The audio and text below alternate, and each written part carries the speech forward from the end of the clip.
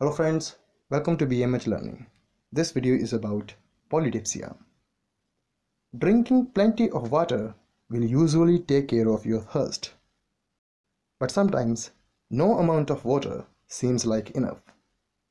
You will drink and drink and drink and drink and still be thirsty. That's polydipsia. Causes You usually get polydipsia as a symptom of other things. Diabetes Super high blood sugar will make you pee a lot. The more you pee, the more dehydrated and thirstier you get, and the more you drink. Diabetes insipidus different from diabetes mellitus. Diabetes insipidus happens when there is a problem with your kidneys or your pituitary gland, which makes a hormone that helps control how much water your kidneys keep in your body. Mental illness.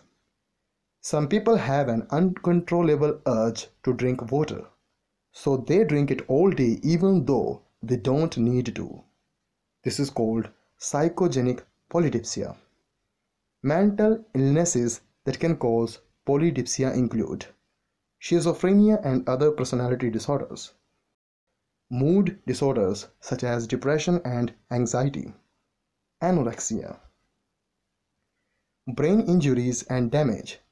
This could be from diseases like HIV or other illnesses. Why it's a problem?